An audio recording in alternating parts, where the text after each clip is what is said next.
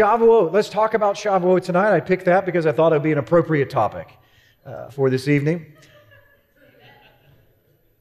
But first and foremost, I don't ever want to do anything, and you can't pray enough. So let me ask the Father to speak only His words. Is that okay? Father, we thank you so much for your word. And once again, we ask that you would bless it, you would anoint it, you would take it, put honey on my lips, and let everything that comes out of my mouth be of you, and let nothing come out of my mouth that is not of you. Encourage your people. Correct, rebuke, and encourage with great patience and careful instruction, O Abba. Move us into a place where we could receive from you in the spiritual realm behind the slides, behind the words, behind the letters. Show us what is hidden. Open up our hearts and minds to see the things that we cannot see in Yeshua's name. Leviticus chapter 23, verse 15 is where we discover the commandment of, of Shavuot. It says, And you shall count for yourselves from the day after Shabbat, from the day that you brought the sheep for the wave offering, seven Shabbats, seven Sabbaths shall be completed. Count 50 days to the day after the seventh Sabbath. Then you shall offer a new grain offering to Yahweh. Now, many people begin to count uh, our, our Jewish brethren count from the day after the high Sabbath. But not very often in Scripture at all is the word Shabbat used in reference to a high Sabbath. Virtually every single time that that Hebrew word is used, it is referred to as the weekly Sabbath. So, the way that I believe that you're supposed to count the counting of the Omer is the first the first of the Shabbats, meaning that if Passover falls on a Tuesday, you wait till Shabbat, and the very next day begins the counting of the Omer. It makes logical sense from the perspective of every single feast day is given on the seventh day, the sixth day of this month, the, the, the tenth day of Tishrei, the first day, uh, fourteenth day of the first month.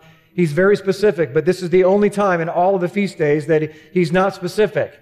He, the only spe- specification is 50 days from after the Shabbat.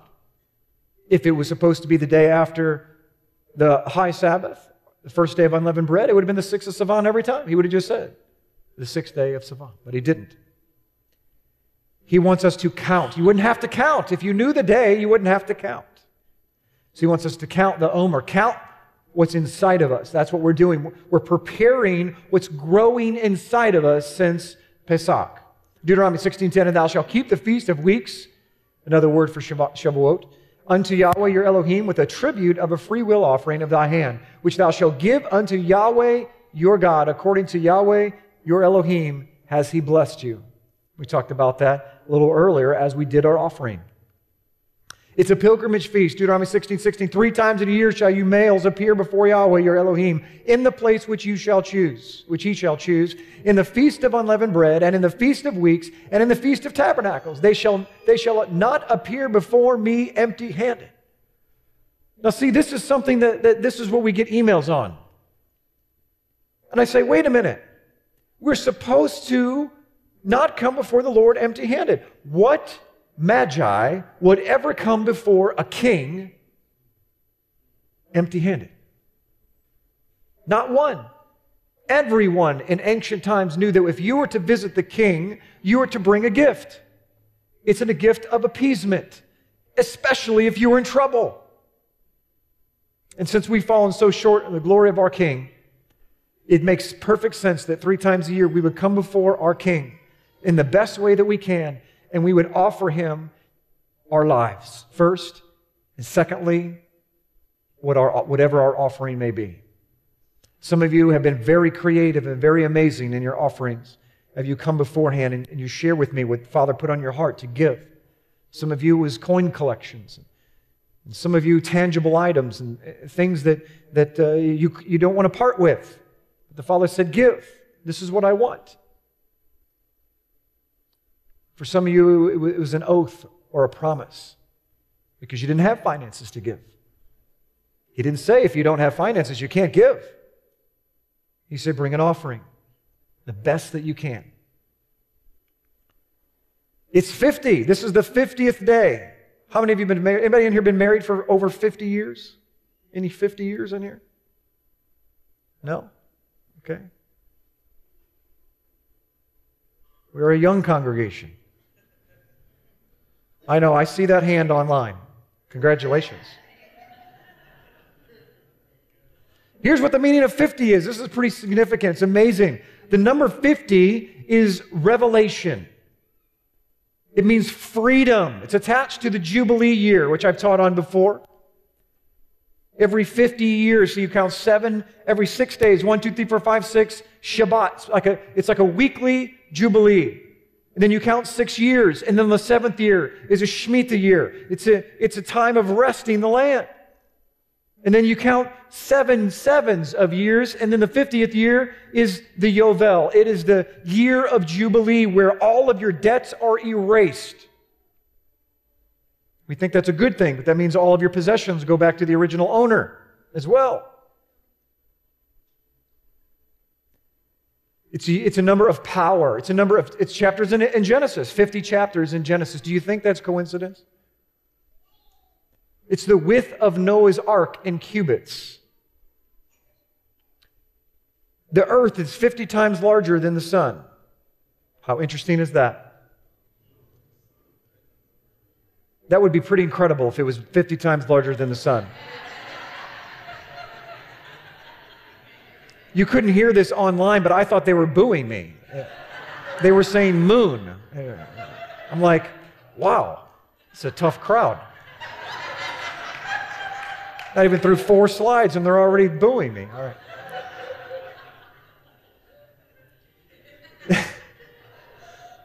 Holy Spirit, come. The number 50 is used 77 times in the Bible.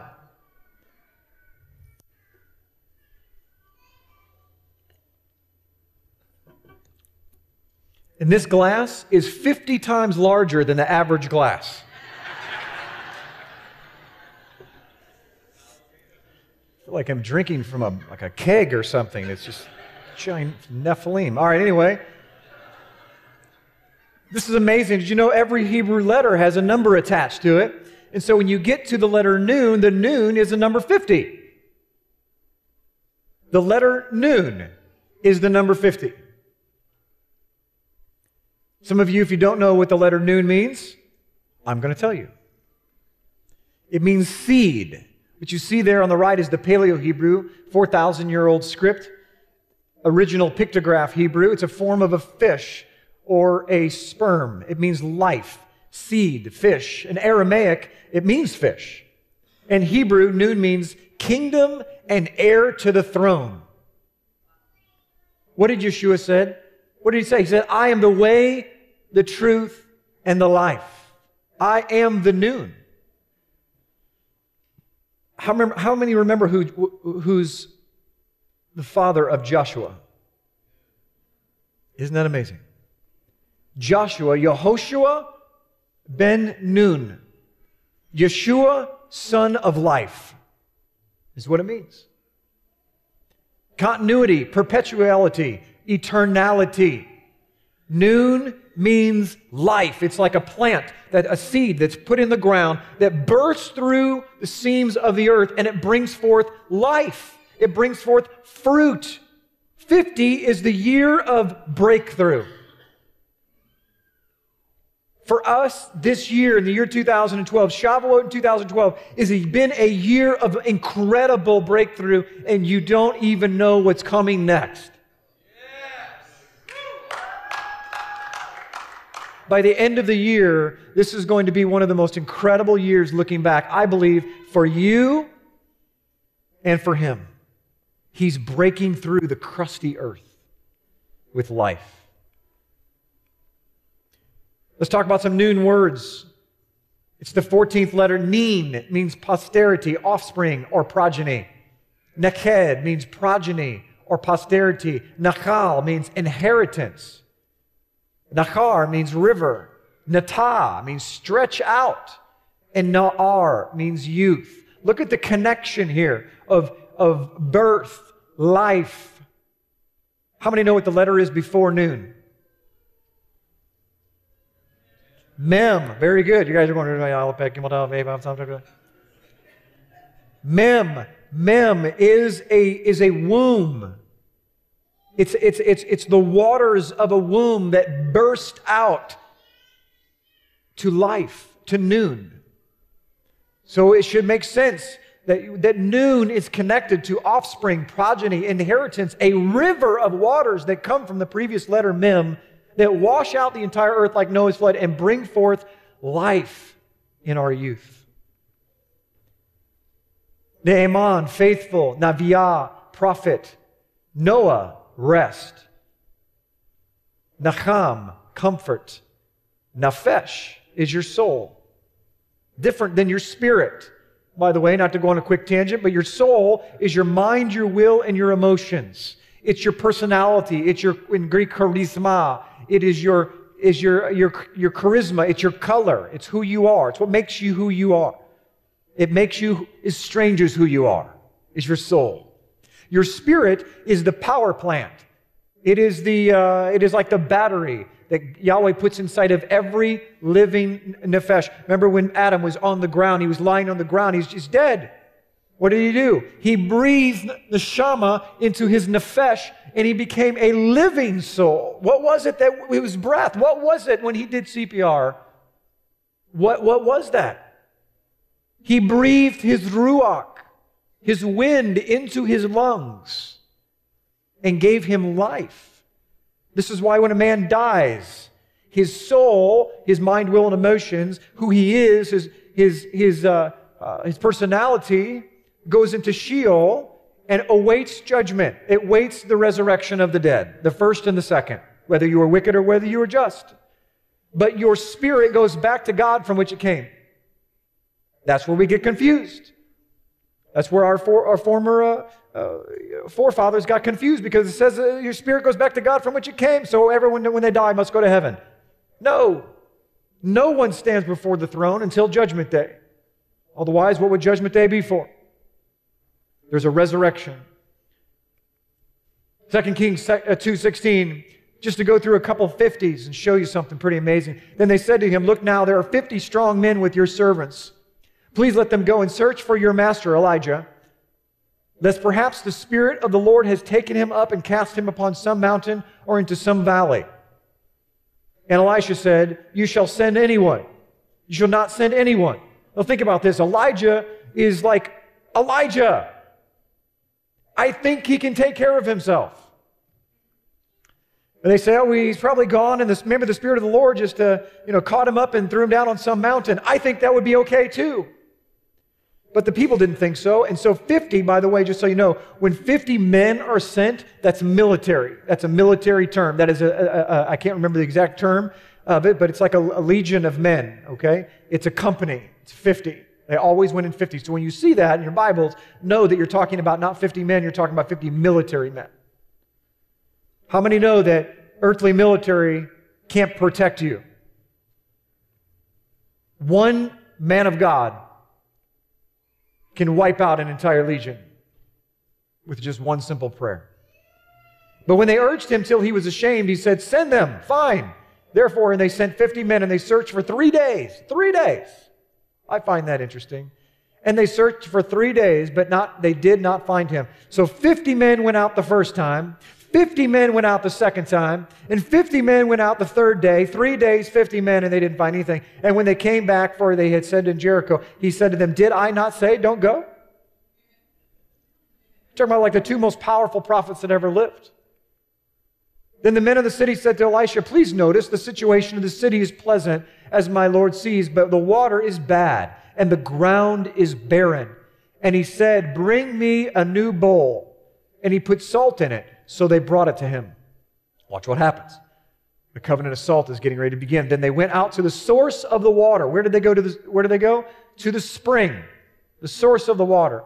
And they cast in the salt there and said, Thus says Yahweh, I have healed this water, for it shall be no more death or barrenness.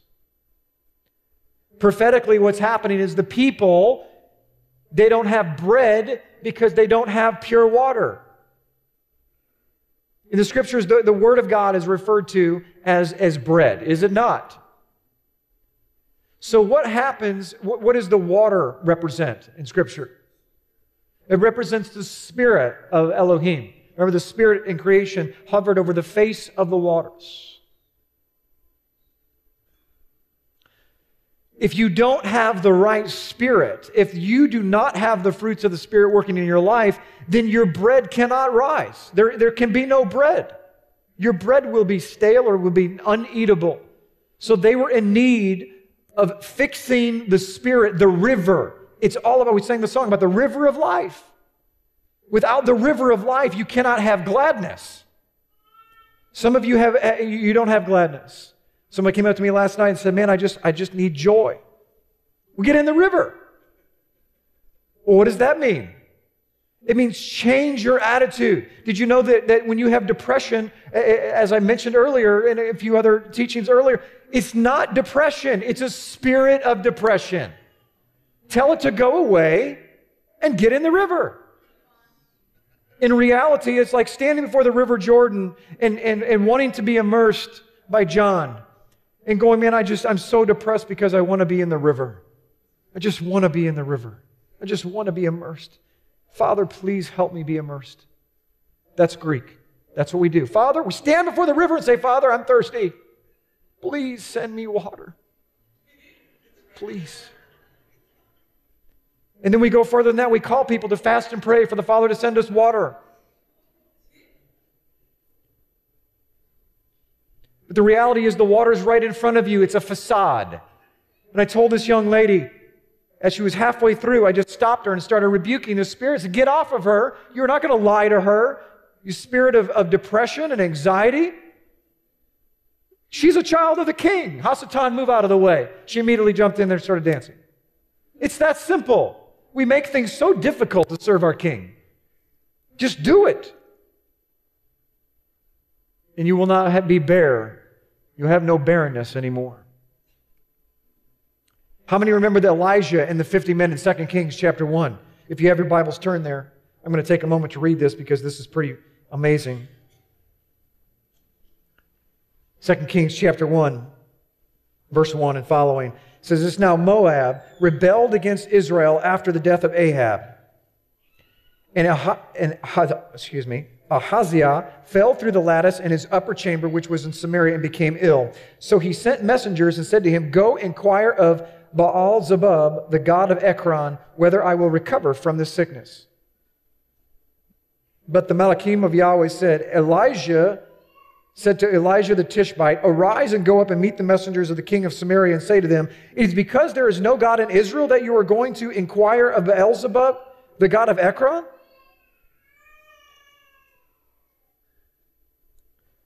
It's a Philistine, a god. When the messengers returned to him, he said to them, Why have you returned? They said to him, A man came up to meet us and said, Go return to the king who sent you and say to him, Thus says Yahweh, it is because there is no is it because there's no God in Israel that you are sending inquire of Beelzebub, the god of Ekron? Therefore you shall not come down from the bed where you have gone up, but you will surely die. He said to them, What kind of man was he who came up to meet you and spoke these words to you? They answered and said, He was a hairy man with a leather girdle about, about his loins. And he said, It is Elijah the Tishbite. Then the king said to him, Sent to him a captain of 50 with his 50. So, how many is that?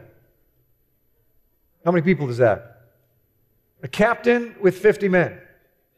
There we go. You're making your kids nervous.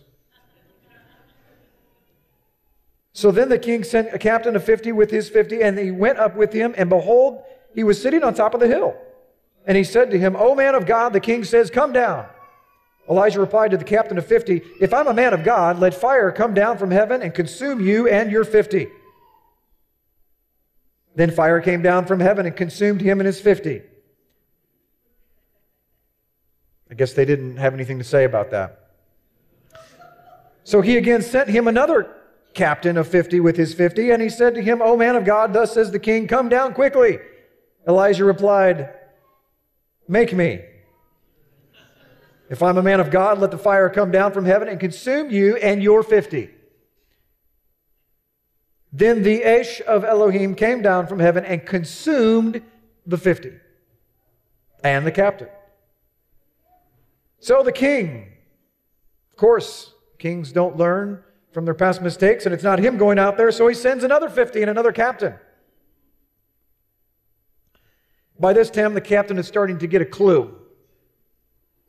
The previous 102 came back crispy.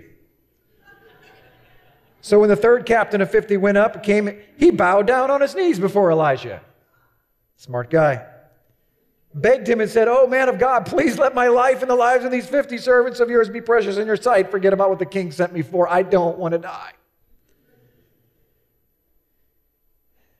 Behold, fire came down from heaven and consumed the first two captains of 50 with their 50s, but now let my life be precious in your sight.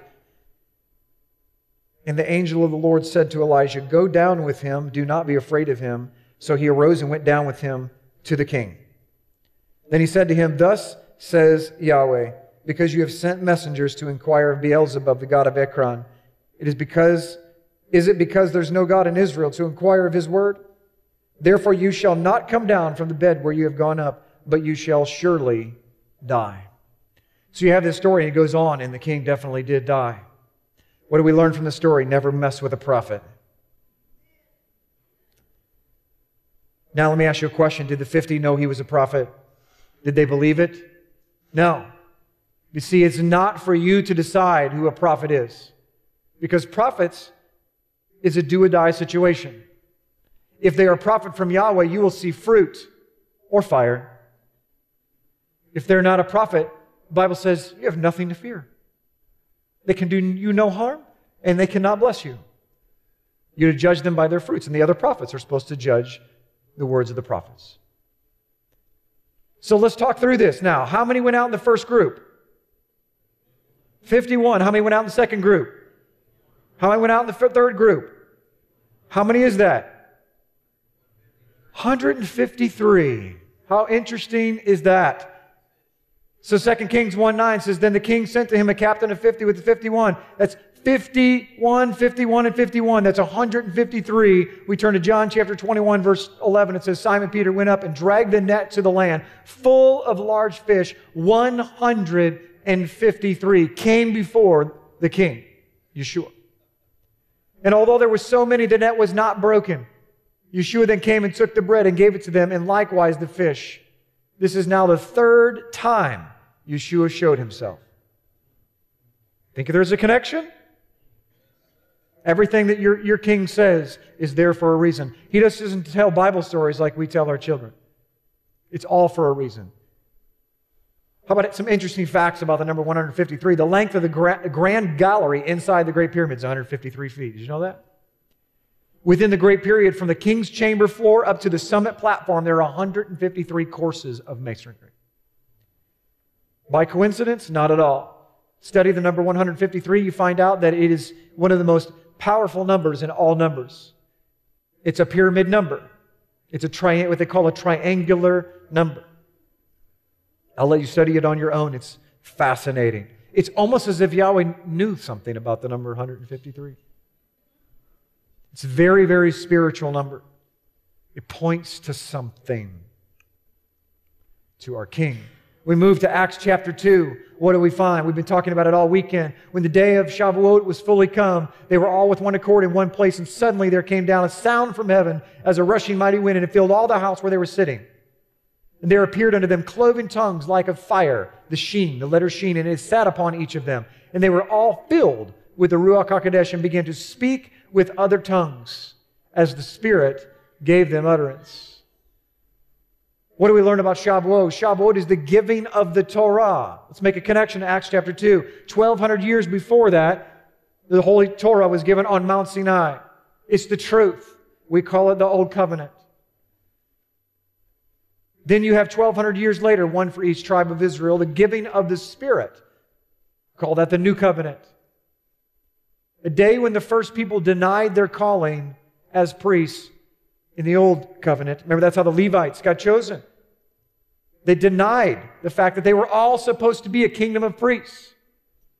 And he chose the firstborn of Israel. He chose the Levites, the Levitical, what we call the Levitical priesthood now.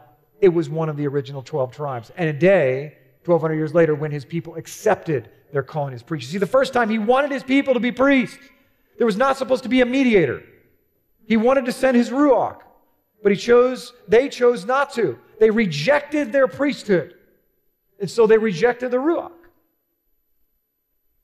1,200 years later, Yahweh's people in the upper room, the Holy Spirit came down on Mount Sinai again, quote unquote. They accepted their calling as priests, and that's why we are a kingdom of priests. Revelation 20, verse 6 is Blessed and holy is he that has part in the first resurrection. That's when the Messiah comes, by the way. On such the second death has no power, but they shall be priests of God and of, of Christ, and shall reign with him a thousand years. 2 Peter 2 9 says, but, but you are a chosen generation, a royal priesthood, a holy nation, his own special people, that you may proclaim the praises of him who called you out of darkness into his marvelous light, who once were not a people, but are now the people of God. How many know he's quoting, I believe, Hosea? If I remember right, it's Hosea chapter 2. Who is he talking about? The northern kingdom of Israel, the 10 tribes, where he says, in that moment, right now, I'm calling you not my people. But in the very place that I call you not my people, you will be my people. What's he doing? He's calling the northern and the southern kingdom together. You are a chosen people. So, this is when it's going to get interesting. The Torah, listen, leads to legalism without the Spirit. And the Spirit leads to emotionalism without the Torah. Let me say that again. The, the Torah leads to legalism. If you do not have the Ruach living inside of you, you will make up more rules to support the other rules, to support the other rules, and you will create fence after fence after fence until it, it becomes just like the first century where nobody even knows what the Torah is. I have Jewish friends, and uh, one of them is very, very uh, eloquent in the scriptures, studied the Torah, this close from being a rabbi. And he says, The law says this. And I said, No, it doesn't. He said, Yes, it does. I said, No, it doesn't. It was like a northern kingdom and southern kingdom. It was like, No, it doesn't. Yes, it does. No, it doesn't. Yes, it does. Just like two brothers would argue. And I said, No, that's the oral law, sir. You're, you're quoting from the Mishnah. Your rabbis say that. But the Holy Torah does not say that. And he laughed. And when he laughed, I said, I caught you. Because he knows there is a difference. But in Judaism, they, they really look at it as all the same. It's the law of God. When the rabbis say it, it's the law. Where do you think Catholicism got it from, by the way? Where do you think the Pope got it from? Do you think they were just stroke of genius? It was from the rabbis. The rabbis have the concept out of Isaiah that whatever he puts in, in their lips is the word of God. And they believe, just like the Catholics do, that when the rabbis speak, that they actually can trump the Creator. Now, they don't look at it that way, so let me give them some credit, but that is what they're saying. And that's where uh, the Catholic religion, the Pope, gets the same concept. They didn't make it up. They looked at, I mean, if you look at a lot of the ordinances in Catholicism, they're right out of, out of first century Judaism. And some of them are very deep, and I will give them credit.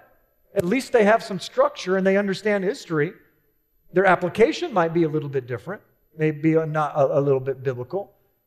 But something that we need to look into is some of the structure that they do is pretty amazing. It has phenomenal roots. Some not so good, some good. I'm not here to pick on any particular denomination or group of people because every group of people has an element of truth. So the Torah leads to legalism without the Spirit, and the Spirit leads to emotionalism without the Torah. I'm going to suggest that on one side, the southern kingdom has the Torah without the Spirit. It's led to legalism in many areas. And in Christianity, we have the Spirit without the Torah, and it's led to unbelievable emotionalism, which is why some of you are scared to death when someone, you know, you come into a, a, a, healing moment when people are being healed or delivered of an unclean spirit, or God forbid that somebody's speaking a foreign language. Because you've been so attached to emotionalism, you, you don't want to go there. So, watch this. You know what this is? This is the human brain. As I sat and I meditated, Oh, on Father, what do you want me to teach? What do you want me, what do you want me to show people? I have hardly any time to prepare for all the things that you're doing in my life. It's going to have to be supernatural revelation. Instantly, I had a vision of the brain. And so I said, okay, that's nice. I know nothing about the brain. Can you be a little bit more specific? No kidding. This is my conversation with the Father. He tolerates me. So he showed me the brain. And I literally prayed and I said, Father, okay, I, I, what is it? What, you're going to have to help me out here.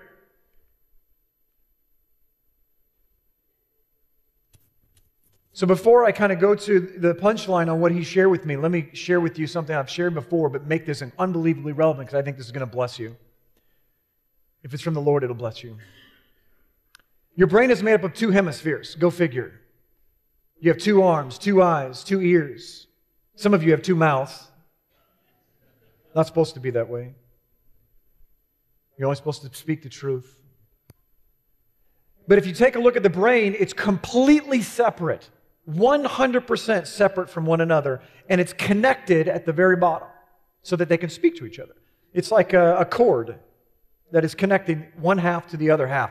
On the left side of your brain, that is your, your, your uh, analytic thought. It is your compartmentalization. Uh, it's, it is many of you that are firstborns, you are left brain people. You think in compartments.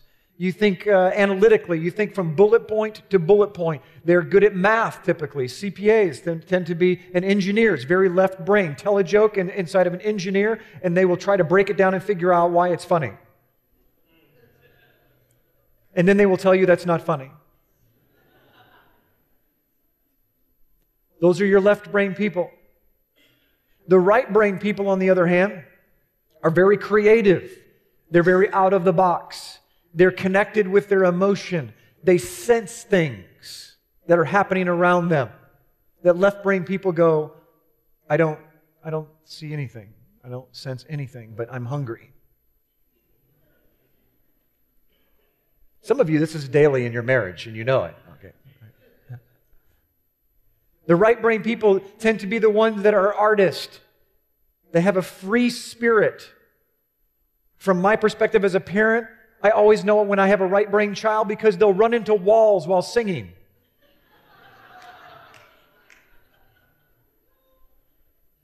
Twice in one night. No concept of what's around them. They don't care. One time, my right brain uh, daughter, I had an ironing board down. She comes into my closet. She sees the ironing board. Okay?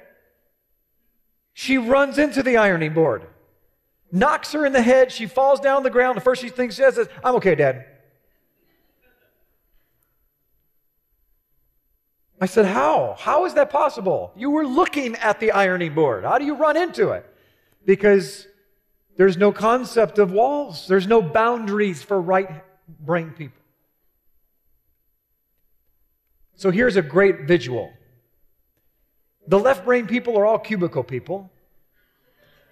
They have no problem sitting all day long behind a computer in a cubicle. They are happy. They have their space. On the right side, they don't even know how to spell cubicle. They're running around in fields. They're flying kites. They're, they're, they get so free, they're willing to just jump off the edge and go, Somebody will save me.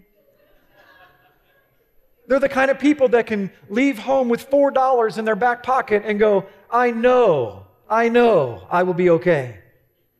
And the left brain father says, Where are you going to sleep? What are you going to eat? I don't know. I'll find someone. I'll sleep on their couch, under a bridge. They don't care. Life is not about things to them. Life is not about compartments. It's not about understanding details. They don't care about details. If a right brain person plans a vacation, it looks something like this We're going to go to Hawaii. How are we going to get there? It doesn't matter, but we're going there. What are we going to do? It doesn't matter. We're going to be on a beach. What are we going to do on the beach? Bake. We don't need to know details. They just figure it out as they go. They're like a, a wave of the sea, a kite in the air. When a right brain person marries a left brain person, there are issues. Because the left brain person says this is the way that it's supposed to go. The right brain person says, Get out of my way. I don't want boundaries. You're restricting me. But what's amazing is the left brain and the right brain are designed to work in tandem. They're connected. They are the Holy Torah, connected by the ring that binds them, the lambskin of His Word.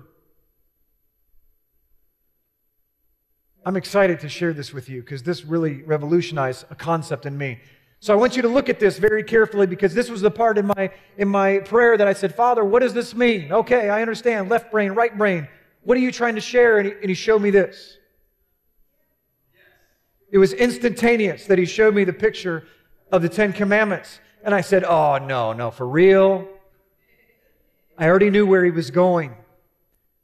So I'm flipping through the pages of my electronic Bible. So let's go through them. Because some of you, this is, thought is going to revolutionize your life. Is it possible that the Ten Commandments are broken down into two cranial hemispheres, trying to teach us a lesson of how to communicate with Him and with our neighbor? Number one, thou shalt not have any other gods before me. Is there any emotion involved in that whatsoever? It's a static commandment. So, which side of the brain does it fit on? The left side. It's compartmentalized. We, there's no emotion attached. We just do. Number two, thou shalt not make unto thee any graven image. It's a commandment. It's black and white. No emotion, no color. So, which side of the brain should we attach it to? The left. Number three, thou shalt not take the name of the Lord God in vain. Let me interpret that the way that was originally written in Hebrew. You shall not make a promise in the name of Yahweh and break it. That's what it really means. Static or color? Black and white. It's just a commandment. There's, there's, no, there's no emotion involved. Just don't make any, any, any, don't take my name in vain. Don't make any oaths. Remember the Sabbath day to keep it holy. He goes on and spends quite a bit of time inside the Ten Commandments explaining that. But remember the Sabbath. It's a commandment. It's black and white. It's static. It, it's just do this. Stop at a red light. No emotion. Number five, honor your father and your mother. This takes no emotion because this is just flat out whether you like it or not. This is what we have to do. It doesn't matter whether your mother and father are worthy of honor. Respect is earned, honor is not. Whole message can be given on that. Parents, don't write me or email, but you do not deserve respect. Respect is earned. Honor is automatic. I honor the President of the United States of America. His position holds that honor. Do I respect him for the way that he acts? Absolutely not. But I absolutely honor the position that Yahweh has given him and the authority he has over me. There is a big difference static, black and white, thus fulfilling the left side of the brain. So now we move to the second hemisphere and we amazingly find five commandments that are nothing but emotion. Thou shalt not kill, you're dealing with an emotion. Thou shalt not commit adultery, you're dealing with clearly an emotion. Thou shalt not steal, you're dealing with an emotion. Thou shalt not bear false witness against your neighbor. And thou shalt not covet your neighbor's things, your neighbor's house, your neighbor's wife. It's all about an emotion. And so, what we have, ladies and gentlemen, is we have literally the Ten Commandments broken down like a brain trying to tell us how to relate to one another and how to relate to the Creator. That most of us have shut down the left hand side of the brain. Most of Christianity has shut down the left hand side of the commandments. We don't need any, any you know, the, the black and white, the static. We want to be free. We want to consume ourselves in what we want to do. We want to be filled with emotion. We want the Spirit of God to just rest upon us and guide us and lead us. But He doesn't guide us and lead us without the static compartments called the instructions. And so what happens is, is that religion or Christianity as a whole if they believe that Yahweh has been is done away with the commandments, they will find themselves absorbed in the we, in the, excuse me, absorbed in the me, where it's all about myself and it's all about how I relate to one another, and you're okay and I'm okay because life is just nothing but emotions. We're turning into a right brain society. And if you turn yourself into a right brain person without any balance of the left side, you, you seriously will walk in the path of Sodom and Gomorrah, where truth is relevant and whatever you want to do is, is the most important. because you are your own God. Right brain people will eventually become walk in idolatry without the left brain. The left brain people, on the other hand, they're very strict. This is the way that it needs to be. This is the way that it needs to be. And they may be right, but without the right brain, connecting with the emotion, connecting with the spirit, they will turn into idolatry. Worshiping their cubicle. This is what it looks like. You know, someone sent me an email last week, and I want to say whoever it was to thank you for that. But they sent me an email because this last week the Father showed me this when I was in counseling.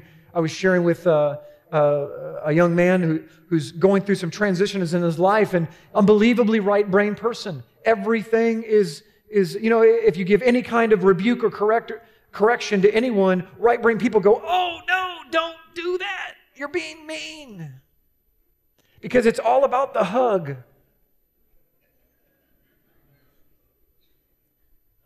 And so this person was all about the hug and got himself into some trouble because he refused to be corrected by the other side, by the left brain. So, what is the Father doing? It's amazing. As this revelation came, the Father has him doing left brain things. His career has flipped on its head from going 100% right brain to 100% left brain. And what is the Father doing? This is where the crux of this message is coming from on Shavuot. You want the Holy Spirit to come down. His only job, what he desires and mission to do, is to balance you out. Because you cannot be fully automated until you are fully balanced in the Ruach with both the truth and the Spirit. That's what he's looking for worshipers. So this person is being fully automated into left brain activities in his, in his work right now. Do you know what that's doing? It's stretching and he's, his brain on a scientific level, he's creating synapses. He's creating, his left brain is beginning to fire more. So you know what he's starting to think? He's starting to think in compartments in certain areas of his brain and he's starting to recognize the value of structure the value of authority, the value of doing things with boundaries and formulas. This gentleman, as he becomes balanced, will be very powerful in the, in the arms and the hands of Yahweh because he will be firing on both sides. Yeshua knew when to, to judge and he knew when to have mercy. He was using, I believe, all of our brains. We're not even using 2%. For you as a believer, my encouragement is this some of you know that your left brain, some of you know that your right brain. It's real easy. They're compartmentalized and categorized. They're very easy to, to create the dichotomy and figure out which category that you're in. Most of you that are left brain married a right brain. It's there for a reason. Opposites attract because he created it that way. He wants you to listen to the other side of the brain. Because his desire for you is to be whole, whole brained. He wants you to walk in balance. He wants you to know, he wants you to know when to take a step with the right foot and when to take a step with the left foot. Know when to correct and know when to encourage. Know when to say something, know when to be quiet. Know when to pray, know when to run, and so on and so forth. I don't know, this message is a strange message for me, but this is the message that Yahweh gave me. Because I'm going to bet that most of us have never, ever prayed this prayer that I'm going to ask you to pray that I believe will begin to change your life. You won't see this for some time, but say, Father, strengthen the other side of my brain. Abba says that he changes our spirituality through our physical, and he changes our physical through the spiritual. You've heard me say it a million times. So I'm telling you, what I'm telling you is from Yahweh. It was a vision, and it's a message that's very simple. If you want to be fully used into the Father's hand, you must be able to see what you cannot see. And that will only come when you have balance in your life. So if you are off the charts, right brain, the Father says, do something that's left brain. Do something that's, that's compartmentalized, that works on the analytical part. Study math. Oh, that would be torture. Put together an engine. Learn something. If you are left brain, Go buy a kite and go fly it.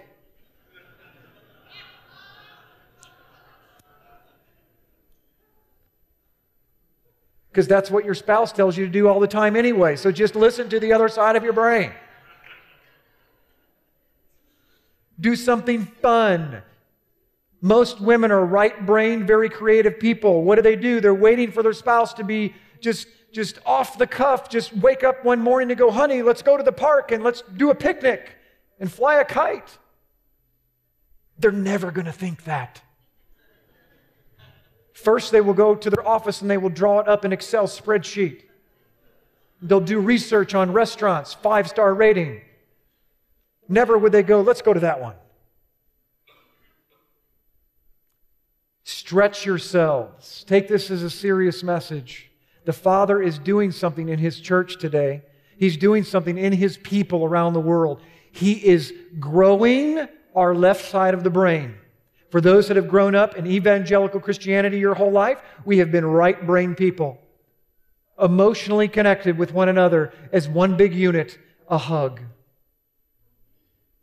What the Father is doing is He wants to take the hug and He wants to put boundaries and limits, and, and He wants us to understand why we're hugging and when it's good to hug and when it's not good to hug, so on and so forth. He's bringing his holy Torah up. He's strengthening the left side of the brain. So what you have in the Hebrew roots movement over the last 50 years is we, we shut down and severed the spinal column and got rid of the right hand side of the brain. And we've taken the left hand side of the brain. We said, oh, we need the law. As if the law can save you. So what has it done over the last 50 years? It's produced nothing but legalism. And all, most of Christianity's right brain. So the right brain looks at this new left brain entity and says, I don't want anything to do with that. That's crazy. There's no life there. But imagine what could happen. It is happening. Where we take the left hand side of the brain, should I say the left hand side of the book, and connect it to the right hemisphere of the book tear out the middle page that says New Testament and make the whole brain work.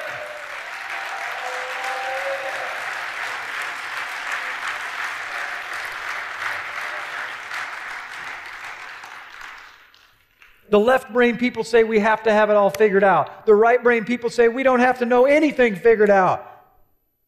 They're right left brain people, let's take the word of Yahweh because this is what he's doing. He wants us to take his holy Torah, which is, which is restrictions of your flesh. You should be happy about that. It's boundaries. It's like a huge farm with a fence around it. The right brain, the left brain wants to figure out how to navigate through all of these things. The right brain wants to just go out and party. If we could just do this, and this is the heart my heart, and I believe it's the heart of the Father, is to take the freedom that we have in the right hand side of the book of the Ruach HaKodesh and take the geometry of the left hand side of the book. A kite is made out of geometry, it's made from math, but it's nothing without the Spirit if we could take the kite and take the Spirit and put them together, we will soar. And so, can I say this to you for your prayer? As this movement, as this Yeshua movement begins to take over this world and get a larger voice, it will only happen when the Spirit, the, the right side, meets the left side so pray for Yahweh's people to be strengthened in the area that they are weak. This message will change your marriage overnight. If you don't value the other side of your brain, you are brain dead. If you cut that severing cord, thinking, oh, I don't need the other side, it's already mostly separated anyway, you will have death value when people come to you and they say, This is what I see in your life. That means that you can't see something. Take it serious. Somebody needs to hear this message. The Father is sending you people to speak life to you, and you think it's death. I want you to consider that you are rejecting Yahweh's voice at every turn.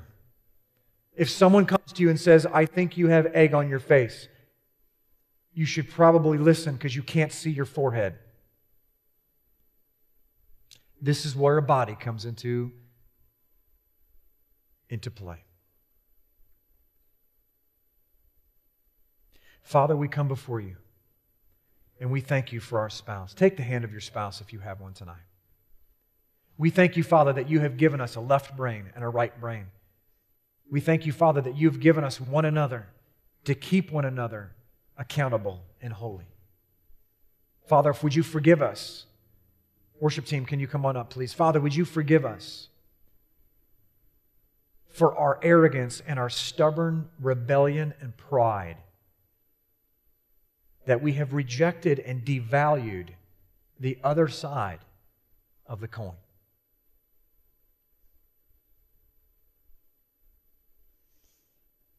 Father, it is my prayer that as this Yeshua movement begins to move forward, and we present to the world the Hebrew Yeshua instead of a Greek Jesus, as we truly try to represent the whole book, the whole truth, and nothing but the truth. Would you make sure that you infuse us with enough of your Ruach? Because if your Ruach doesn't come, this kite doesn't get off the ground. We can hold it and pick it up and run with it all we want. But if you do not infuse this movement with your spirit, it is dead before it begins. So, Father, it is my prayer tonight, not on this holy day of Shavuot. You came down 2,000 years ago. I'm asking you to rise up inside of us. Make us alive. Teach us what it means to follow you and your commandments. We don't have to know how to do it, we just need to start trying. Break us of our pride, break us of our anger, break us of our lack of faith in miracles, and let us live as one people with one God, under one name, and in one lane. Would you stand with me tonight?